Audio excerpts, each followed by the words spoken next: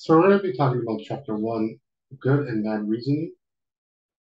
And so we're going to start off with some ideas about well, what is good reasoning and what is bad reasoning, and how do we know the difference. So we're trying to think critically about this. Now, this goes back to critical thinking, right? And what is really critical thinking? Critical thinking is when we're thinking about uh, issues in a well-reasoned manner.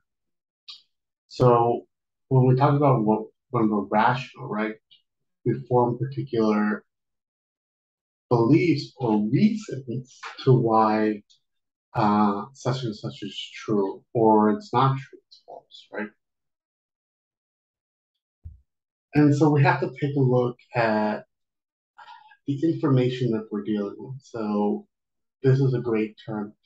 Not all information is created equal in the sense that this you can see in social media and other avenues of uh, information that, you know, just because it's printed, just because it's posted, doesn't mean that it's necessarily true or backed up very well. So we take a lot of information from, from other people, but do we really sit back and sort of deliberate and think about, well, is this good information? Is this bad information? Right? And so how do we say that. There's particular terms, of course, you'll be learning in the class. So good reasoning we often call cogent reasoning. Bad reasoning is uh, fallacious reasoning. So we're committing some sort of fallacy of reasoning. And we'll talk about that more in class as we go along. So reasons and arguments. Now, an argument is consisted of premises, and they what premises are are claims, they're, they're statements, they're reasons to particular conclusions. Now, the conclusion itself is not an argument, and I think this is where people get confused. When I'm making an argument and I'm making a systematic pathway or, or a systematic blueprint on how to get to this particular conclusion. So it's kind of like maybe analogous to uh, driving directions, right? That I'm giving you a step by step process on how to get to a particular place. And the conclusion is our location, it's the endpoint, right? And so the premises are the directions, individual directions to get to that particular place. And the whole thing is what we're going to call an argument. So how do you know where the directions between and versus the the destination, right? So the premises are directions when you're reading, you probably see terms like because, since, for. So because this is true and since this is true, or for this reason, then you're going to get a conclusion, right? It's leading, these are directions to that conclusion. So how do you know it's the end point or conclusion? It may not always say these words, but these are good tips to kind of uh, give you a heads up that this is the conclusion. When it says hence, therefore, so, so it'll be something like because this fact and since this is true, and for this reason, hence this must be true, or therefore this is the conclusion. This is true, right? Now, exposition and argument. So only statements that provide reasons for believing something form arguments. This is where we have to kind of make a distinction between what's relevant information and what's not. This is where we're saying, you know, not all information is created equal. So most forms of exposition include anecdotes, not really arguments. You get kind of confused about that. So when you say things like, um, well, that happened to my uncle, you know, or that's true. He he never got cancer. He was smoking all the time. Those aren't really reasons to for an argument. Say if the conclusion is, you know, what are the chances of somebody getting cancer from smoking, you can't really try to prove or disprove that by saying, well, my you know, he's still living, so You know, so that's what we're saying. It's careful about using anecdotes as uh, ways to form an argument. But see how it may imply an argument, right? So you say, well, it's maybe kind of true since that uncle didn't get cancer, so right, but it's also not well founded. There has to be some good factual information you're going with, and not simply uh, some sort of story or something that you've heard or experience, particular experience, but may not apply to the general public, right? And we're going to get into that. So when we're talking about an explanation, an explanation is a form of exposition, but it's often confused with an argument. And this is where we get a lot of confusion as well. So if I give an explanation for something, this is why this engine works this way. And this is how my phone works, right? I'm explaining how the phone works, explaining how the car works, whatever. But that's not, I'm not making an argument about it. Uh, when we're talking about an argument, I'm trying to persuade somebody that the claim is true. I'm trying to give reasons that this is why you should believe this is the case. Uh, not really simply just informing somebody. It's like, oh, this is how it works. So when we talk about winning an argument, so I think there's also confusion here.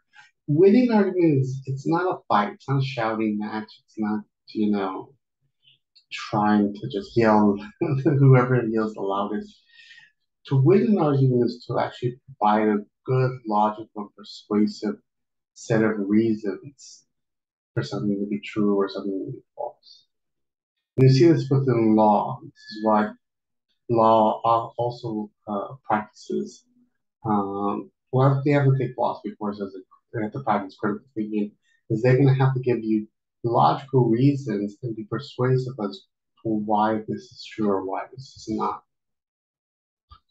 Now, when we talk about cogent reasoning, premises are believable given what is already known. So this is where we're setting it up. So if we know this and we know this, and this is a good reason that we should follow, you know, this. So all likely relevant information is considered and reasoning must be valid. Now, this this is a kind of a technical term when we talk about valid. So there's two kinds of valid arguments: deductively valid. So that means if all the premises are true, all the reasons that you're kind of leading to, then the conclusion must be true. So, like I was saying, you know, if it's true this, and it's also true that this, and this is what we know, and one falls from the other, then we can draw the conclusion, right? Now, inductively valid, you have conclusions going beyond what is contained in the premises. So this is where a lot of probability happens. Where you're making a good argument, but you can't give me every single pinpoint fact. You have to give me a probable cause. You know, it is probably the case that this is true given from know. Now, the two kinds of valid arguments that you'll see a lot. They're not the only kinds, but these are just structures, uh, patterns that you'll see a lot. If A, then B, A, therefore B. And this is going back to the old uh, Latin term modus ponens. Usually called modus ponens. So how this works, let's say these variables, A and B, we'll fill them with some sort of factual information. So if it rains, then the streets are wet. Raining is A and the streets are wet is B. So if it rains and the streets are wet, um, two says A, so it is raining. Let's make it a factual statement. It is raining. So therefore B, the streets are wet. It's also making a factual claim. So the conclusion. So notice if it's raining and the streets are wet, I'm making these premises inference, right? One falls to the other. And if it is true that it is raining, therefore, then I have a good conclusion, I have good reasons to believe that the streets are wet. Now, the benefit for this is you can see I have clear beliefs about what is true, and those beliefs follow into a well established conclusion. Now, if I don't have these good, well reasoned structures, then there's a liability. There's an increase of possibility of error that it could be wrong if I don't have the structure. Well, there could be all sorts of other factors if I don't have a well structured argument. Now, this is a good note. Good reason is not bounded by being culturally relative. So, what does that mean? Saying that you can have good reasons for a particular claim, and it doesn't necessarily mean that you have to be based in the culture or be part of the culture to make a good argument.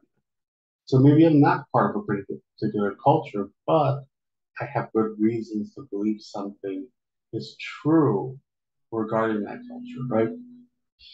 Uh, it is also not gender relative. So being a man or being a woman or any gender identity uh, doesn't make you immune or doesn't separate you from good reasons or not. So, you know, because I'm not a woman doesn't mean that I can, you know, give you some really per- persuasive arguments about something that involves women, right?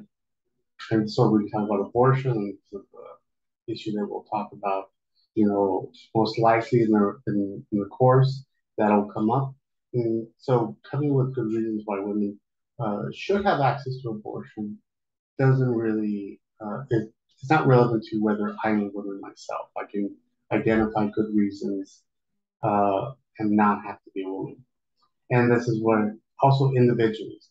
So, you know, you don't have to be a particular person to make a claim about something factual, right?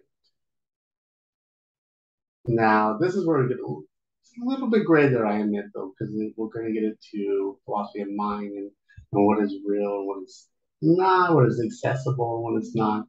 But I would say in general that, that most information is accessible for everybody. If I can see it, then you probably can see it as well. So some wrong ideas about it is that uh, that it that cannot that good cogent reasoning, right, cannot conclude that most points is not valid. It cannot conclude that good reasoning differs from group to group. So this is a mistake that some people make, and this is what I was kind of leaning to in the last slide, that you know, because I'm coming in with a good structure, to the reason doesn't mean that, oh well, these issues are relevant, right? Whether I'm not female, I would say, I would actually correct them and say that whether I'm a woman or a man, right? A person to person, those aren't necessarily good reasons. So some other wrong reasons about cultural reasons said, oh well, it's gonna it, the issue is really about self-interest or prejudice or narrow-mindedness, and that leads to poor reasoning. That's not necessarily the case. What really the issue is, and a lot of people miss this, is that they're not using good standards of what counts as good reasoning. So how do we even tell the difference between good reasoning and not is usually the issue, and not so much about uh, whether that person is prejudiced or self-interested. Somebody who may be self-interested actually may come up with some good reasons, unfortunately, right? Despite being self-interested. So those aren't necessarily relevant factors. And this is where we get to issues of background beliefs. So background beliefs are beliefs that we're coming into you know, into the argument, into the situation. So it's going to be difficult for us to develop good judgments if we're having beliefs where we're coming into it with already some biases? So kinds of background beliefs are beliefs matter of fact, about values. Well, what is a value? It, it's a position in regards to what is important, what is not. So capital punishment practice is practiced in every society, or is capital punishment justified? Uh, those are values. And say, well, to believe it's practiced in every society and therefore it must be justified in every single situation, that's going to influence a new situation, right? A new case that you hear, you're already kind of biased about, you know, what the conclusion should be. So a lot of our worldviews, a lot of our background biases or, or what we're coming in with is influenced by families, culture, friends. So we have to be a little bit cautious about that and conscientious that, you know, well, this is what my family's been telling me this whole time, or this is what my culture's been telling me this whole time. But then we have to kind of that. Is that necessarily true? Is that always the case? And so they're deeply ingrained. They're not easy to kind of question. And you'll find this questioning yourself, you know, things that you've always assumed to be true and never really thought to change. They're going to take time, but you, do, you should reconsider them. And insufficiently grounded beliefs, we should strongly consider our beliefs. This is what I'm saying. We've all, since just because we've always had these ideas or beliefs, doesn't mean that they're really on firm ground, that they really have good reasons to believe them. So take a look, examine our background beliefs. Are they consistent? Are there contradictions in our what we were brought up? Um, there reason, good reasons to believe it, or it seems to kind of be just made up, right? So what new information are we receiving and what information do we have to kind of question that we thought we already had? And this is why Socrates is famous for saying that unexamined life is not worth living. What does he mean by that? If you're not taking a look at your life, you're just kind of going through the motions saying, well, that's what my culture said, that's what my family said. You never really question, you're not really thinking for yourself. You're kind of just kind of going through the motions and being a passive follower, You're not really it's not really living your life. You're kind of just going with the crowd. So two kinds of, of back important beliefs for background beliefs is you'll see this a lot the nature human nature. So a lot of people come with the assumption that well all people are bad naturally, or all people are really born good naturally. See how that kind of belief will influence and make them biased towards particular things like capital punishment or crime, right? They're all they're already to come with some loaded ideas, and we have to kind of really question the reliability of that information. Where are we getting that information from? How did they come up with this notion that all people are born good or all these all people are born bad? And when we're doing so, we should consider science, right? We should consider some well-established science that you know. So, well, wait a minute, what has psychology said so far with regards to human nature, right? Let's take a look at the science and not simply say, oh, you know, I kind of feel that all people are born that. Well, how do we question right? How do we, how does that line up with information that we're already know? So these are the type of reasoning that we're going to take a look at this semester and start questioning our background beliefs, start looking for patterns in our beliefs and in our conclusions and our arguments and how we kind of make sense of the world.